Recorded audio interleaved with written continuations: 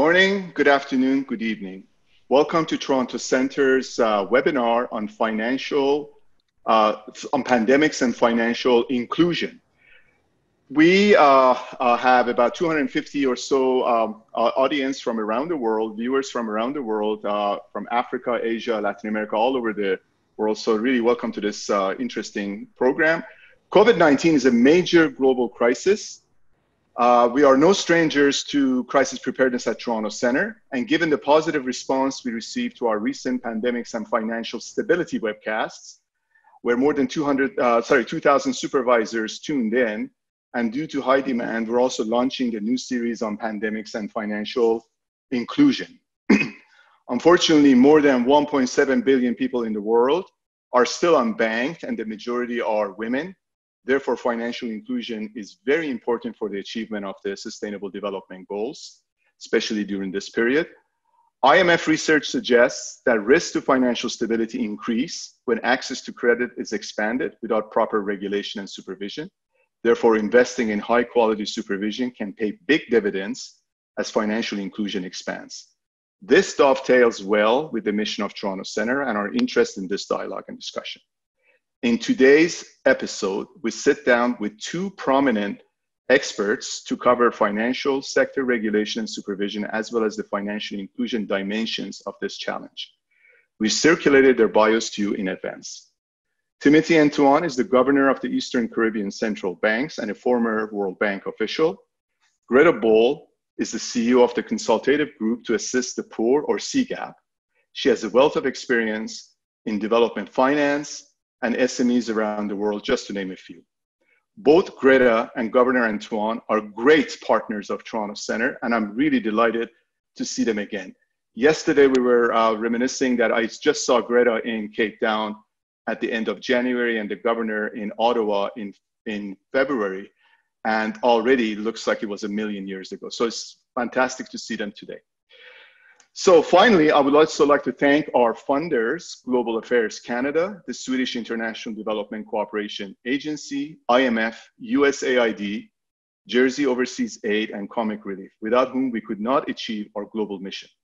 Before we start, I would like to inform our viewers that we will try to answer as many of your questions as possible, and we have allowed the time to do that. Please type your questions in the Q&A tab, which you will find below the video screen. So let me start with a common question for both of you, uh, Greta and Governor, and welcome, by the way. Crisis matters. Over the past decades, World Bank literature has highlighted that financial crisis can throw millions into poverty. We all still have fresh memories of the 2008 financial crisis, but this one feels different. In your opinion, Governor, how is this crisis different? Well, Babak, let me begin by um, thanking you and the Toronto Centre for arranging this, arranging this very timely conversation. Uh, I think the Toronto Centre continues to add real value to developing countries, uh, many of whom I hope are on the call today.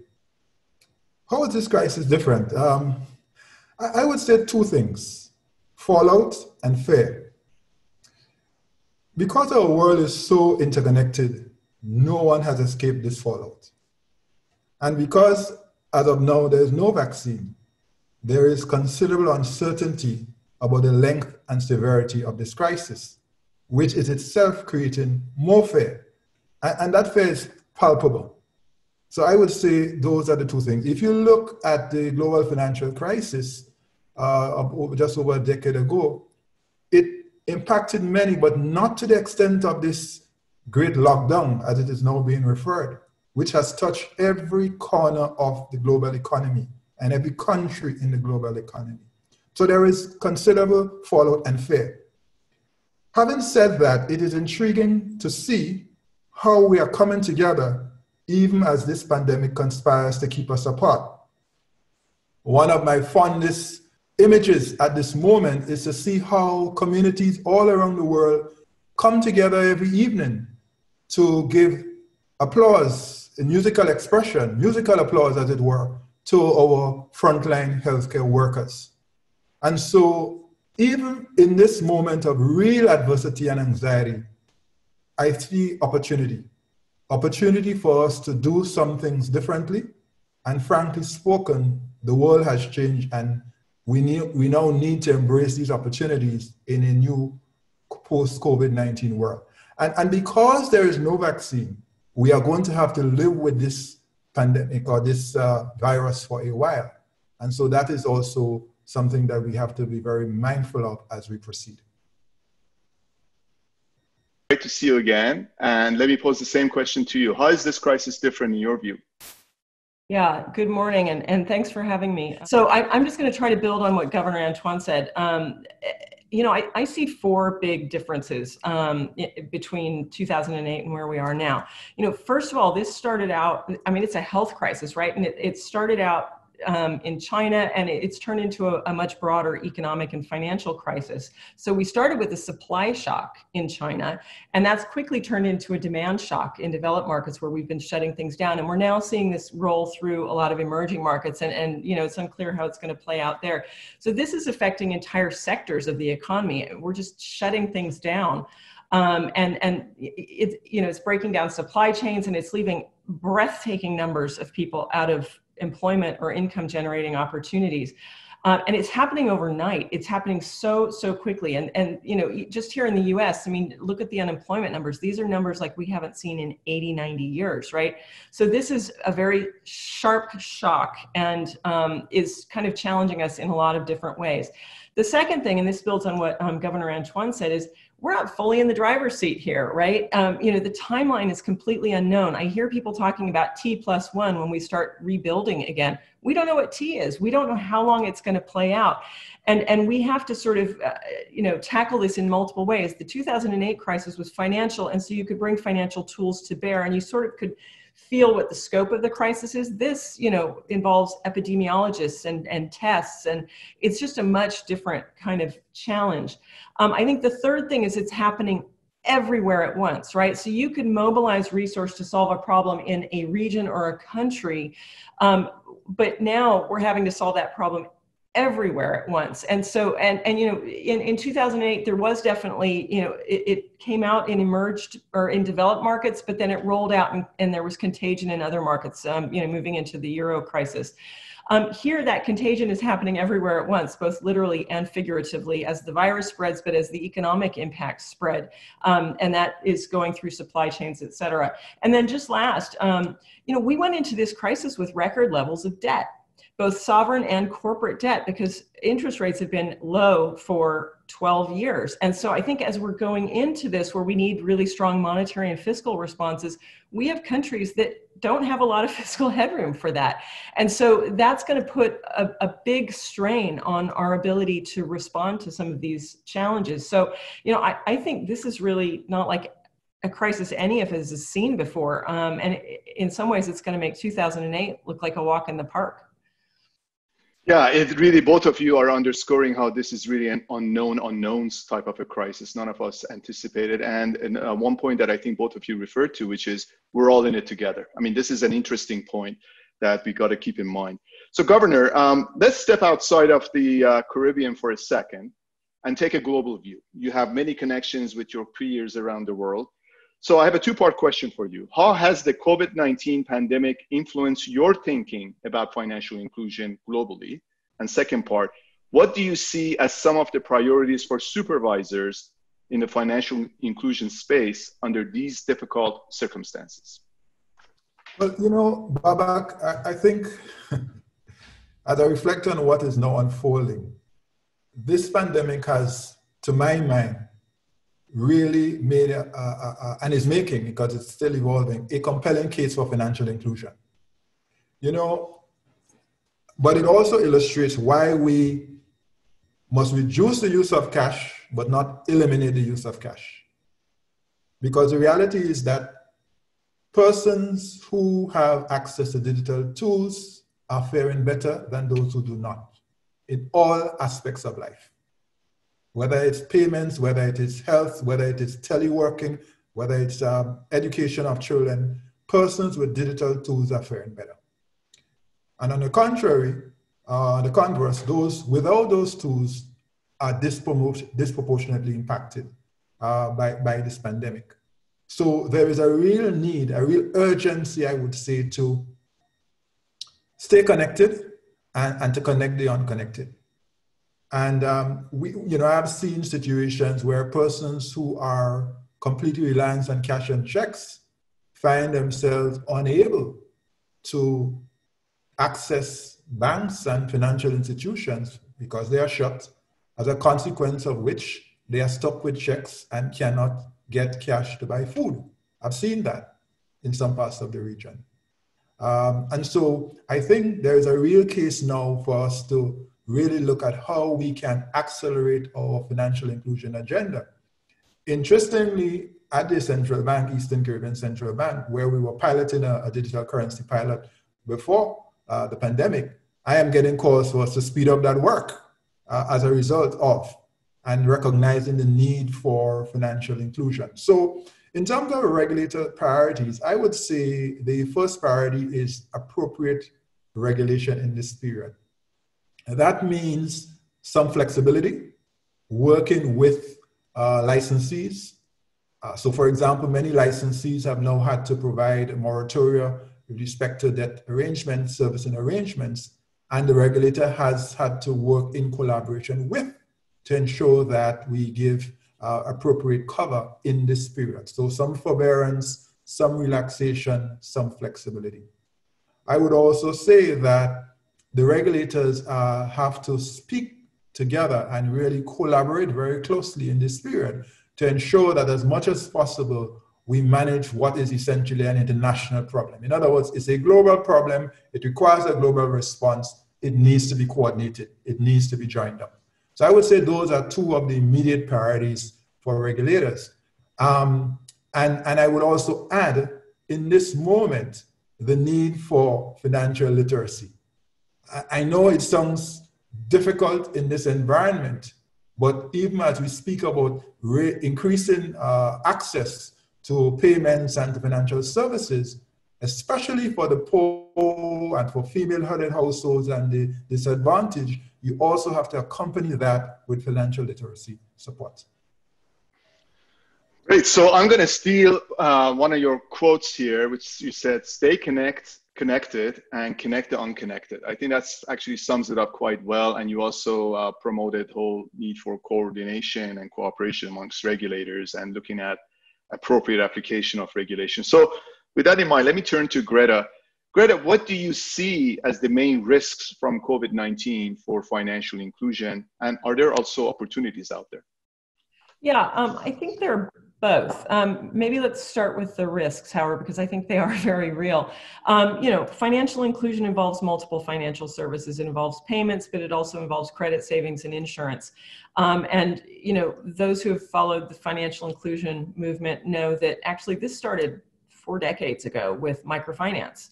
Um, and we're seeing real risks emerging around the microfinance movement because, of course, any entity that is making credit or issuing credit is at risk. If people aren't earning an income, they're not able to pay those loans. And um, you know, we've invested for decades in this microfinance movement. Um, and we're really worried that we're going to lose some of these providers. So right now, as of the last data that we have, the microfinance sector reaches 140 million um, low-income people across the world using a pretty conservative estimate. And that represents about $124 billion in loans outstanding and $80 billion in savings mobilized, all from low income people. Um, and it's an investable asset class, right? So uh, there's about $17 billion invested um, from international entities as well as multiples of that in domestic credit lines. Um, and we see a couple of risks around the microfinance sector. One is, you know, as regulators are stepping in and sort of um, offering forbearance measures, sometimes that's being extended to just consumers or businesses and not kind of going up the chain. Um, many regulators are kind of looking at that and putting in in in measures that that help on moratoria and on relaxation of some of the regulatory ratios.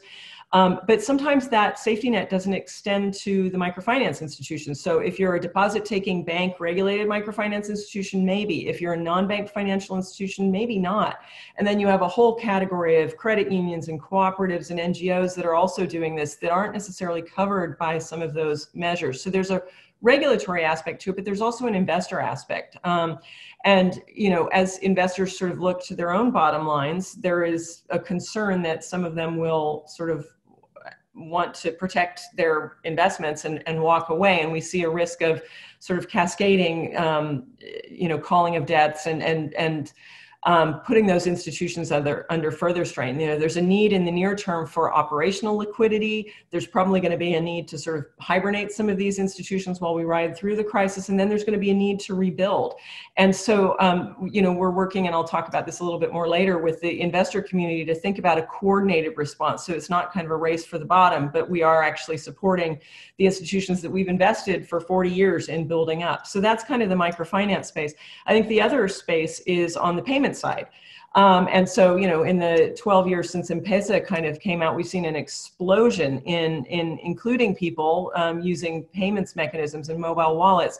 And that's been really important. But I think we see um, both opportunities and risks around that. So a lot of governments are looking at, um, you know, getting money out to people using the, the payment systems that have been developed. Um, but a lot of people sort of forget that those payment systems aren't totally digital. It's not like I receive money on my phone and I can use it on my phone.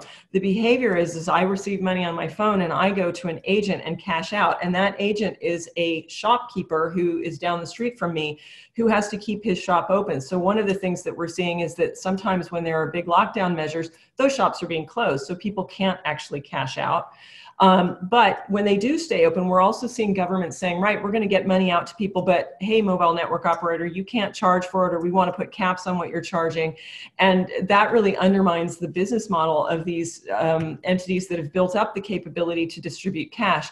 There's also an added pressure because if you have cash going in one direction, it's just a massive flood of, of cash going out um, and that causes real liquidity pressures for those operators. And so i think there needs to be um, good public private partnerships as we think about putting together these social protection measures that can help get money out to people and make sure that the operators still have business models at the end of it that stand up because they've been so important for building financial inclusion. In terms of opportunities i think there are real opportunities. So the inclusive finance sector both microfinance institutions and these payment companies reach a lot of low income people. So as government governments think about getting aid and support out, whether in G2P payments or you know loans like we're seeing here in the US, kind of subsidized loans that are keeping businesses afloat, those are a great channel to get money out to those informal small communities. They have really strong relationships and they're able to do it. And I think you know beyond that, there's some other opportunities around digitization, but I think we'll get to that in a, a later question. Thank you, Greta. That was actually a very interesting panoramic view you provided us here, very helpful. So, Governor, coming back to you, uh, you know, we live in the world, but everything at the end of the day is local. So let's uh, turn our attention to your local region. In the context of financial inclusion and the Caribbean's response to COVID-19, what issues are preoccupying the minds of uh, policymakers in your area? Well, without doubt, the first um, question is an issue is, is the health of our citizens. How we protect our citizens, residents, and citizens from uh, COVID 19. And it is no secret that in many of our countries, small states such as we have in the Caribbean, our health systems have had, continue to have pre existing conditions. In other words, they're not the strongest systems in the world. So that is why there's been this uh, move very early to preempt spread by lockdowns uh, effectively shutting down the economy. Um, so that is the first issue, protect the health of citizens and residents. But there is also the issue of, and in this region, of course, tourism is the largest earner of foreign exchange and a big employer, a big uh, generation, a generator of employment. So tourism is shut. So the, I mean, you could well imagine the impact on the real economy, on employment, on government revenues in this period. And so another issue that is occupying the attention of policymakers is, is the health of the economy. So you have to protect citizens. That's the first priority. I think there's clarity on that. But how do you work towards some kind of resumption of economic activity such that this economic disruption does not morph into a financial crisis? that is a real issue.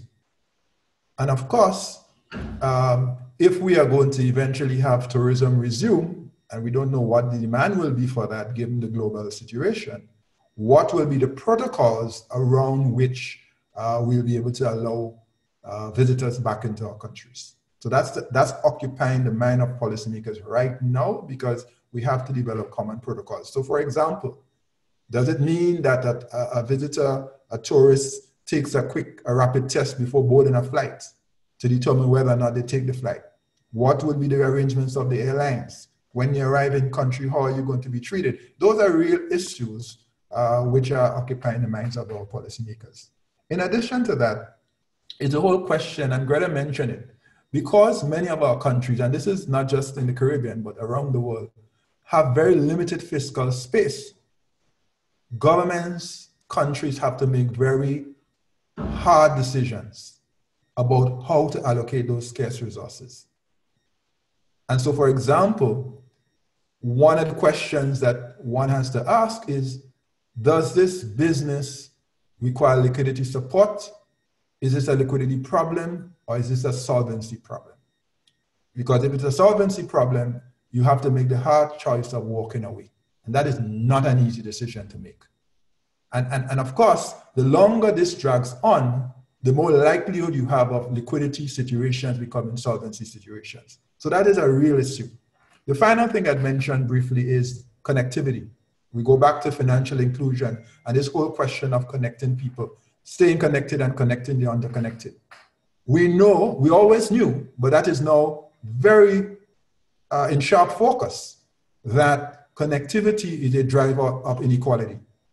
And so those who are connected have more opportunity and more access, and those who don't uh, uh, do not have access. And what is happening now is a real focus on how can you quickly make connectivity available, accessible, and affordable in this period to ensure that you, as far as is possible, leave no one behind. Those are just some of the issues that are preoccupying the minds of policymakers in our region, and I suspect many, many countries around the world. Absolutely. I just uh, take off from your last sentence, many parts of the world, because what you underscored is that local is global, global is local in this context. Like everything you said, I think if you talk to people in other parts of the world, they probably will, you'll hear the echoes of precisely what you just said. Greta, turning to you, uh, Let's talk about cash for a second. Governor talked about cash as one of his opening comments here. Because, and, and again, this really brings the financial and public health dimension of this together. Because it is easily contaminated, cash is considered untouchable during this crisis by many. In your opinion, how might the crisis accelerate the use of digital financial services and what are the challenges? Yeah, um, before I answer that, I'd like to just touch on something Governor Antoine said because I think it's really important. I, I think solvency is going to be a huge issue, and that's really what we're worried about. I mean, if you look at the United States, we've got big names going down, like big retailers are in trouble. You know, South African Airways is going into liquidation. Like, this is hitting already, and there are going to be some really difficult deci- decisions that have to be made. And I think our big concern is we want to make sure that the inclusive finance sector is not at the back of the queue um, because I think there is uh, some risk around that. And so that's a little bit what we're mobilizing to deal with. But to your question on the um, on the digitization, I think it is going to create, um, in some ways, a push for digitization, and in some places, I think it's going to be really difficult. So, as I was talking about before, you know, we think about digital finance as being this purely digital thing, but there's this big cash distribution piece underneath it. And I think what we're going to see in this crisis is um, who's prepared and who's been investing in those systems and they'll be able to leverage it and who's not? And i, I think it's going to go a few different paths right? So you can see countries like india and peru actually being able to mobilize to get lots of money out to people um, through the systems that they've invested in. You see other countries lebanon is one where they're trying to figure out how they're going to get this money out to people right? So they're looking at bringing in the army because that's the best way they can think of to sort of distribute the cash. Uh, and then you have countries that are kind of in the middle like Indonesia or Nigeria, where you could make a fairly simple change to the regulation and you could turn on a distribution capability pretty quickly. But that's still really cash heavy right? And so i think the the pathways we're going to see in terms of this playing out are are kind of three. You're going to have one which is pretty advanced countries like india and kenya for example where you've already got people who are used to using digital means, they're comfortable using digital means, and it's very likely that this will tip them into more kind of fully digital behavior, right? So if you take a, a Kenya, um, it's just as easy to pay for something. Right now, the behavior is baked in where I go to an agent and the agent is incentivized for me to cash out and for me to give the cash back to that agent because of the way the business model is structured. What we're starting to see in Kenya is that there's more paying by P2P with that. And that's where this changing of the pricing model really needs to be carefully thought out because what you want to do is incentivize greater digitization. Moving into merchant payments in East Africa has been a pain point for years. We've been trying to get that to happen, and this could be an impulse to, to make it happen. I think you'll see that in places like India as well, where people are pretty comfortable with the digital means. Then I think you'll have these kind of middle of the road countries where they just don't have that infrastructure in place, but they could. And if they if they're smart and they they need to kind of get money out to people, they'll switch on that infrastructure. So you know, in Indonesia, you could sort of enable enable the Gojeks to do cash out and sort of make that happen. And you may find that um, you know people do keep the money digitally, and they're able to do that with the existing kind of infrastructure. You know, Nigeria could be very similar. And then you're going to have the countries that just haven't invested in this at all, and they're just going to have to struggle through. And I, I think you know building that kind of acceptance infrastructure because you know the reason that you have cash in cash out is you can't use money in your phone. It's an abstract thing. You can't use it unless somebody's willing to accept that payment from you on their phone. You can't use it. And so the merchant infrastructure is just not in place in most places. Now it could leapfrog into just quick P2P payments infrastructure. And, and but that's a real behavior change. And we'll see it in some places and we won't see it in others. So we're just going to have to um, you know, figure out how to roll with whatever situation we started with and then um, build from there. So one of the things that we got spared in this pandemic is uh, uh, loss of electricity and electrical grid. Imagine if that was the case, then we would have a much different conversation about cash and all that. But Governor, building on what Greta said in terms of acceleration of uh, digital infrastructure, digital payments, uh, how is your region dealing with the issue of cybersecurity? Because that's the other dimension of it, and resilience for financial sector uh, regulation and supervision? Like, is this posing a challenge? Will this pose a challenge? Um, any any perspective you can offer that would be great.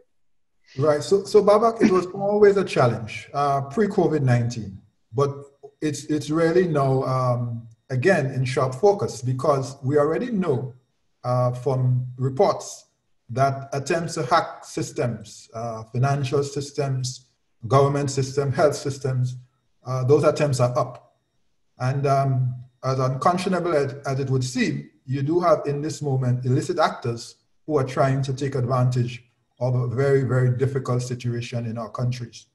So the issue of cyber security and cyber resilience is, is very, very important. And it goes to the issue of trust because the, the real agenda for financial inclusion requires that we bring the unbanked and the underserved into the financial system and, and, and to ensure that they have access.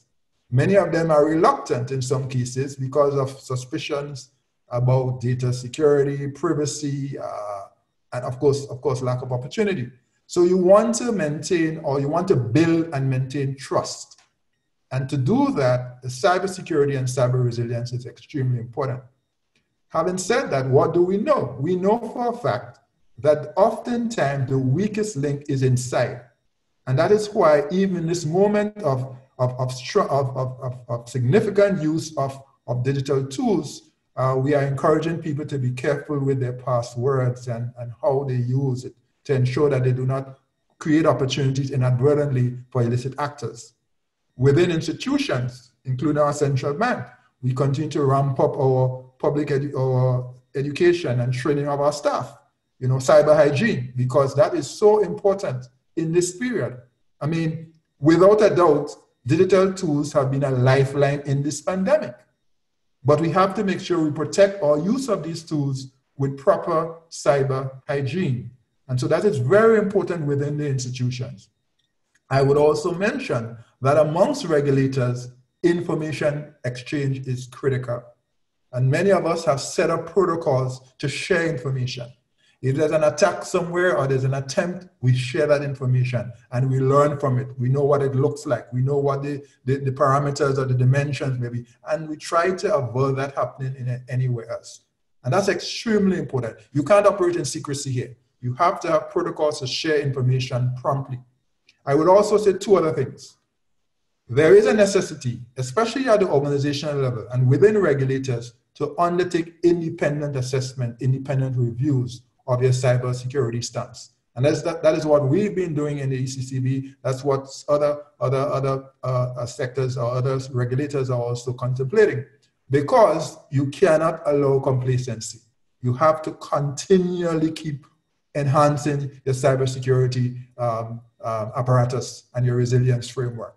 And the truth is, in many cases, our approach is to say, while we want to avoid an event, we need to prepare for an event and ensure that we can recover in the shortest possible time if and when an event occurs.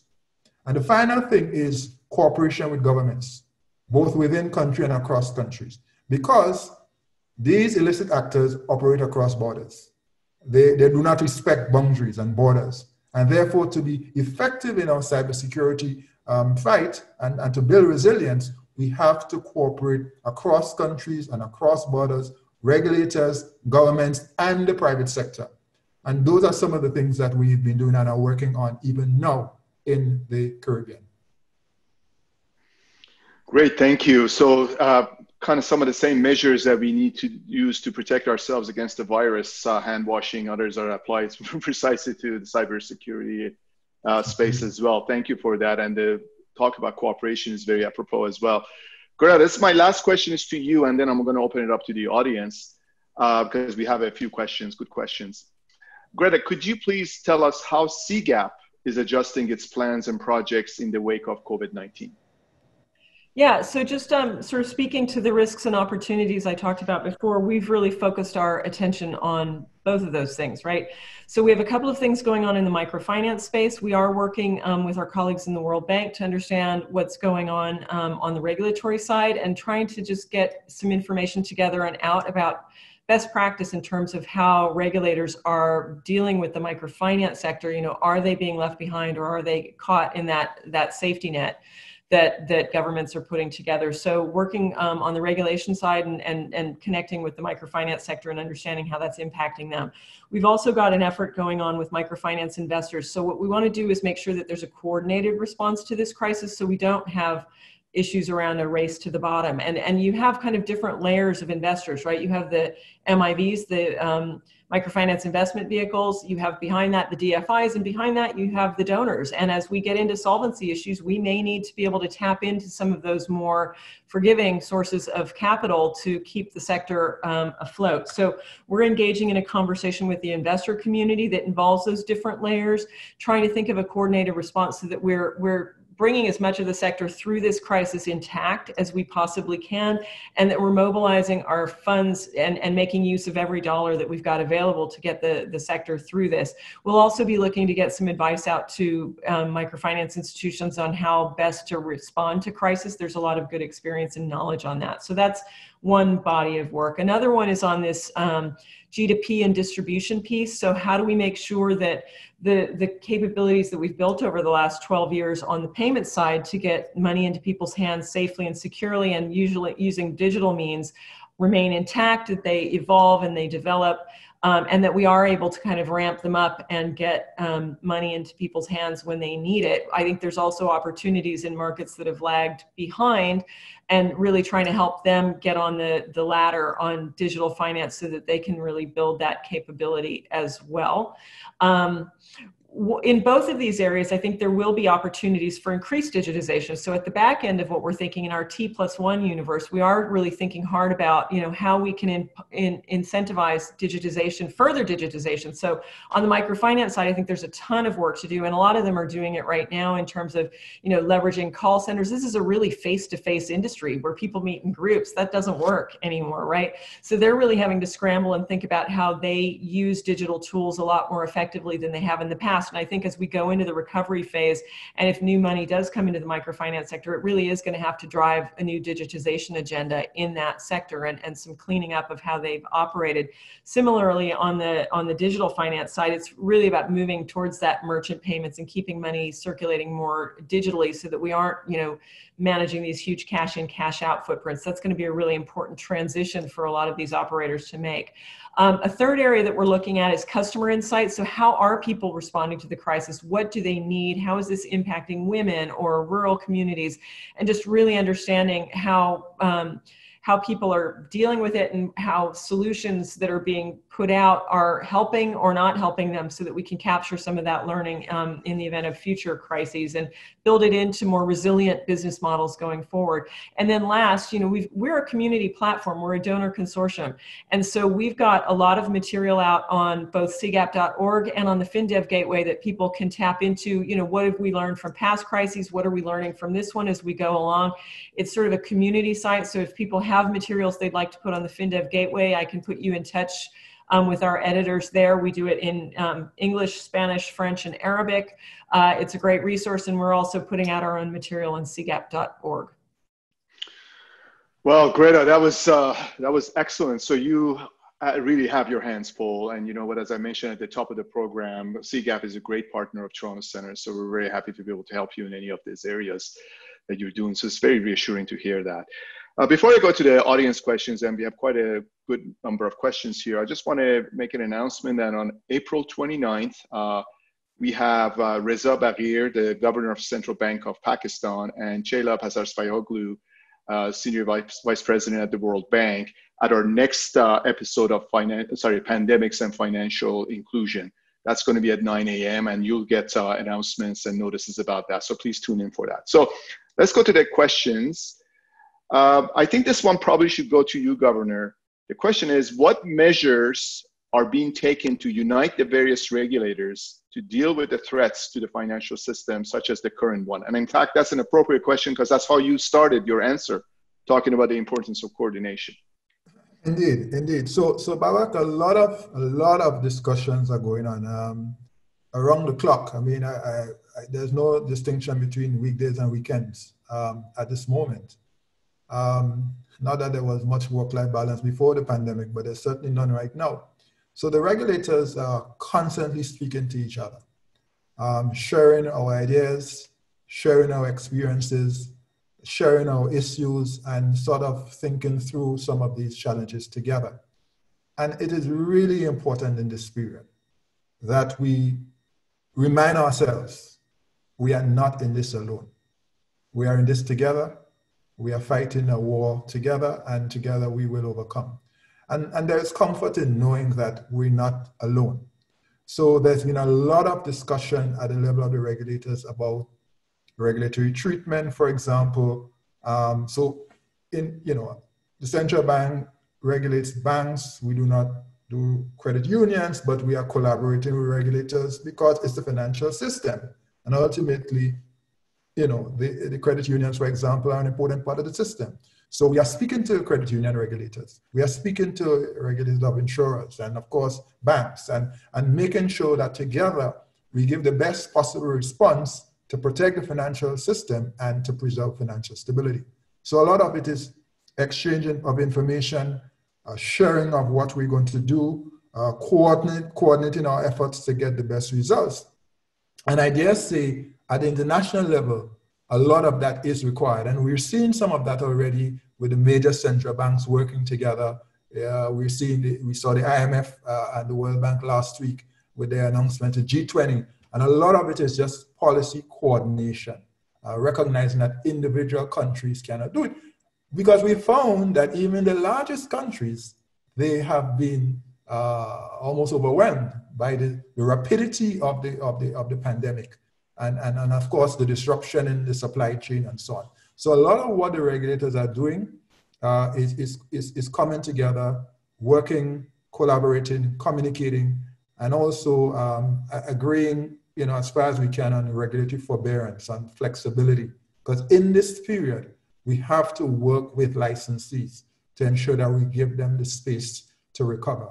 And, and that, that is, that is uh, something that we're working on continuously at this time. That's great. Actually, it's very reassuring to hear that from you, Governor, because if you recall, you and Greta recall in the beginning stages of this crisis, there was there didn't seem to be a lot of coordination on the part of the world governments, let alone the financial system. it was more like as if the trade infrastructure architecture of the world was being dismantled by certain world leaders. And then all of a sudden we were caught flat footed. No major G20 announcements, no major G7. But I'm really glad to see and hear from you, and also based on what else we know, that at least in the financial sector, uh, the ones uh, behind the levers are pulling together and trying to you know, create some semblance of order and coordination. So that's very reassuring. Greta, I'm going to give the next question to you, and I'm wondering if you could give it more of a financial inclusion um, lens. What changes do you see as necessary to the current financial architecture to make it more resilient to a crisis? I guess I take this to be to future crises as we're learning about this one.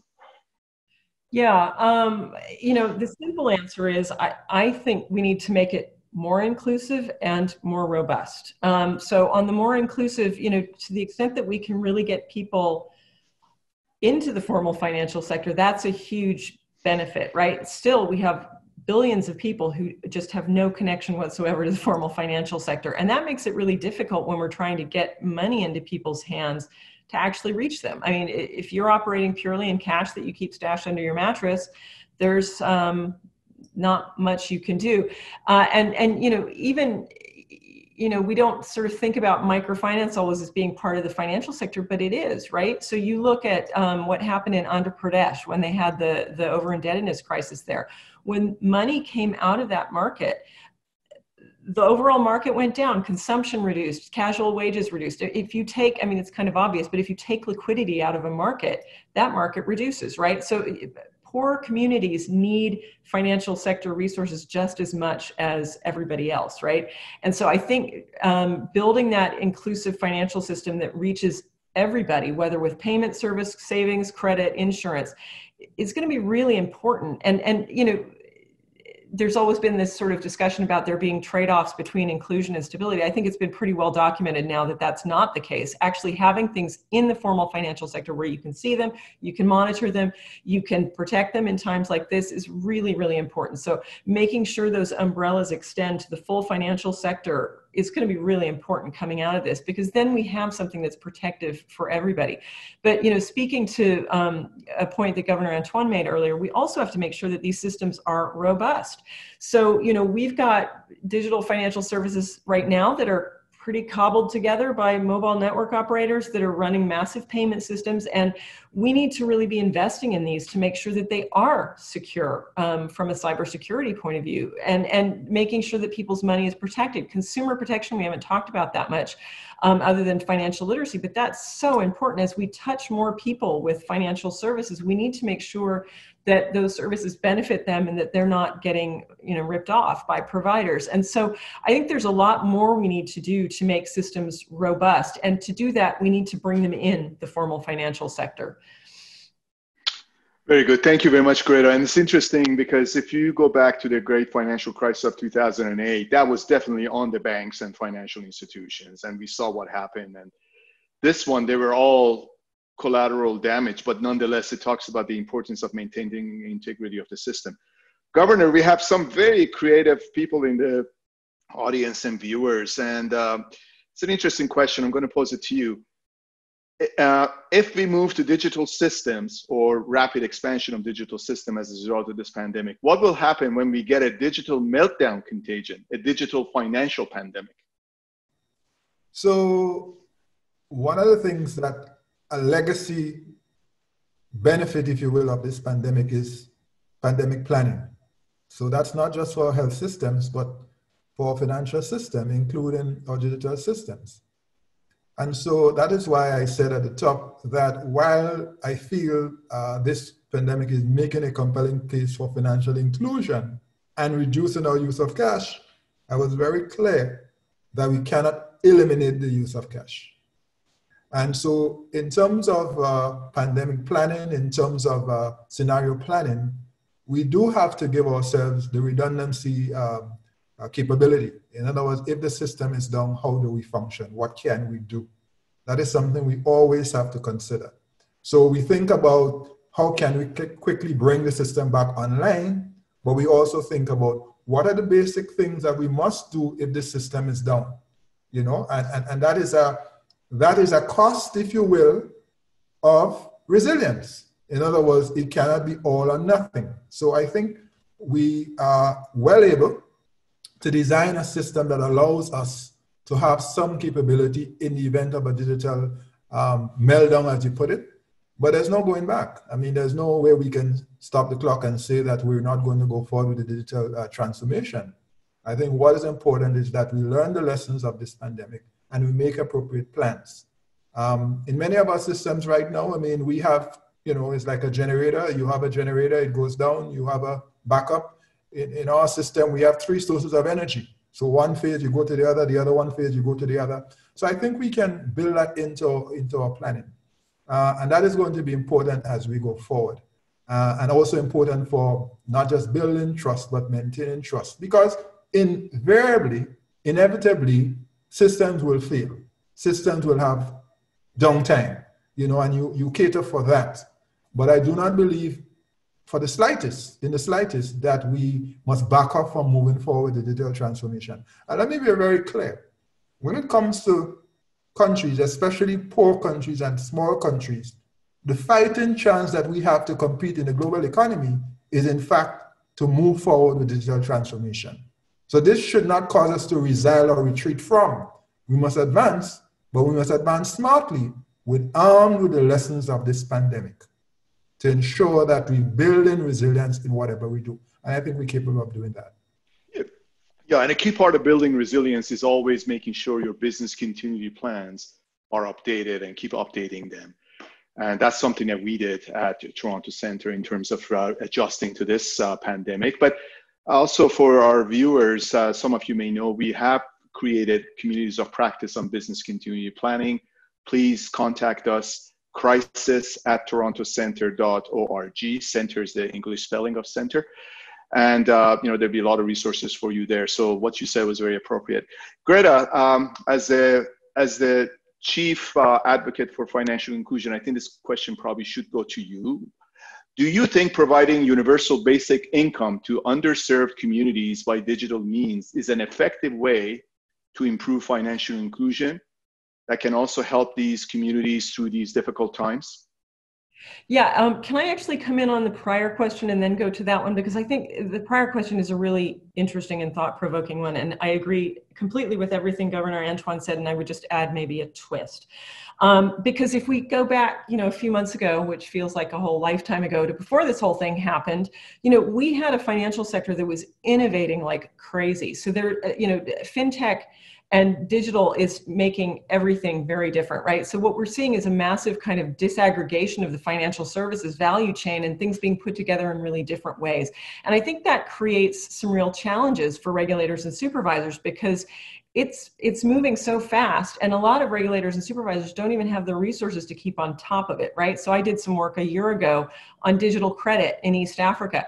And literally these guys you know outside of zambia at the time didn't really have much of a, a handle on what was going on in the digital credit space. So we need much better tools to monitor what these changes are doing in terms of, of how the financial sector is developing so that we can have those early warning signs and tools to be able to deal with it when there are crises that come out of the digital financial sector. Right now we're not in that kind of crisis but you know we will be.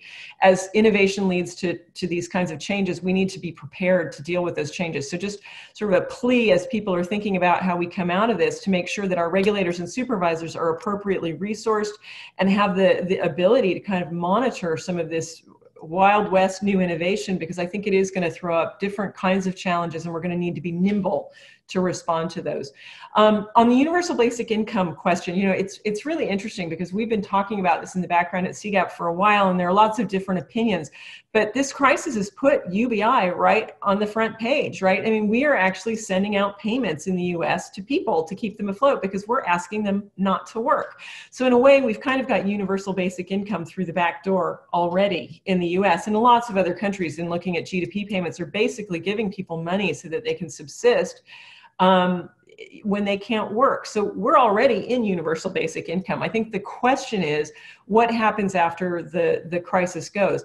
You know, I think digital means is a really, um, it, you have to get this money out to people. And the only way you can do it in this sort of situation is digital means, right? And so, as I was saying before, you're seeing countries that are able to do this now because they invested in that kind of infrastructure. And you're seeing countries that have to get the army to deliver it, right? So I think this is a real um, push for countries that want to have um, social protection programs to put in place that kind of distribution architecture so that you can reach people in times of trouble.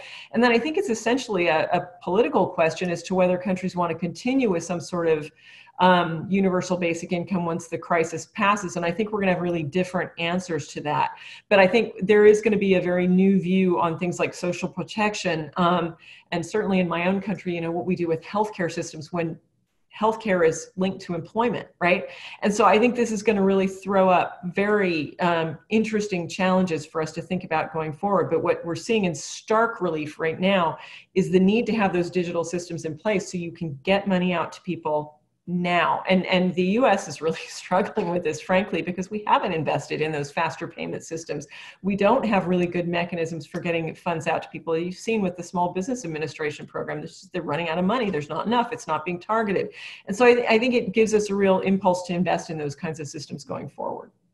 Yeah, Greta, that's actually very important. I mean, tapping into one of my former lives when I was uh, working actively in the energy sector, it's not so much the production of the energy, that's an issue is how to get the energy from point A to the residents who use it. So essentially, you're underscoring the importance of architecture or infrastructure of distribution that you better build it now before you need it. And those countries, as you said, who built it are reaping benefits. Those who haven't are scrambling at best, you know, like using the military or whatever to distribute that. So that's an interesting one. So, Governor, it's a, this is a broad question, but it's an important one to sort of connect and link things together what do you see as the main financial stability risks arising from COVID-19 impact on financial inclusion? Well, I think the main risk is solvent institutions um, becoming insolvent. Um, you know, the, the biggest risk to, to financial inclusion is financial instability. And even as we try to bring the unbanked and the underbanked and underserved in and give them access, we have to be very, very concerned about existing financial institutions um, remaining solvent and viable. And if we look at what is going on around the world, including some very large companies within the financial system and outside, including the airlines, for example, um, that is cause for real concern. So the single biggest risk I would say would be uh, prolongation of the economic disruption that leads to a financial crisis and financial instability. Because then the situation is exponentially worse and the impact, you know, exponentially higher, wider, and deeper on citizens uh, and on our populations. And invariably in those mix, in that mix, the, the under uh, served and the unserved are disproportionately impacted. So I would say that is the single biggest concern, thinking as a regulator, thinking as an economist, um, that we have at this moment. Can we, can we keep the ship afloat? And will we have enough ventilation, and I speak now of financial ventilation or ventilators, for these hitherto solvent institutions to ensure that they can survive this pandemic. If this morphs into a, financial crisis, then the situation is not just a health problem, it's not just an economic problem, it becomes a, a, a financial stability issue. And, and to me, that is the single biggest risk. So, Greta, uh, building on that question, another question is, uh, and I want to tap into not just your uh, the cap you were at CGAP, but also your wealth of expertise on SMEs. Uh, let's look at a hypothetical scenario where in a few months a vaccine is available and uh, you know uh, we think we can go back and do everything. How much of this economic damage we are experiencing on a month to month going to be longer lasting? Uh, or is it more like elastic and we go right away back to work and back to exactly where we were on february 20th or whatever date you want to pick What's your general sense of the damage that's being caused right now as this thing is prolonging? Um, yeah, um, I think it's huge, actually. I, I mean, I, I, don't think so. First of all, I'm not sure we're going to have a vaccine that soon. So I think we are looking at a staged um, reintroduction to whatever the new normal is. Um, and I, I sort of fear that it's going to come in waves, right? And, and, you know, as the governor was pointing out, we're going to have a first round of just trying to get back in our own communities, much less, you know, traveling beyond our own communities and then traveling internationally. And I, I feel for countries that are dependent on tourism because it's just cutting off everything, right? And so the, the damage that's being done right now is huge. And, and I think we are at risk of losing not only some big companies, um, but some a lot of SMEs who, that just don't have access to resources then they've got a month of cash liquidity that they are playing with maybe three right? And so you know what we're doing now to get money into their hands is going to be really important. And it's interesting to look at the different approaches being taken by europe and the us right? Europe is just paying companies to keep people employed. Uh, the U.S. sort of dealing with a huge burst of unemployment and then figuring out how to keep companies alive. But you know that comes with a lot of challenges, not least of which is you're leaving people without health care. You're going to have this whole scramble to get businesses open again and get employees back again. So there's a certain inefficiency around that. The problem is both of those things cost a lot of money, and not every country has access to those kinds of fiscal resources to to keep the economy afloat. And so this question of how long T is, like how long is this going to last, is so important because we just don't know how sustained these um, disruptions are going to be, how they're going to play out over time. And so it's really hard to understand how you keep your economy afloat. We've already spent, you know, upwards of three, four trillion dollars here in the U.S., and this isn't over, right?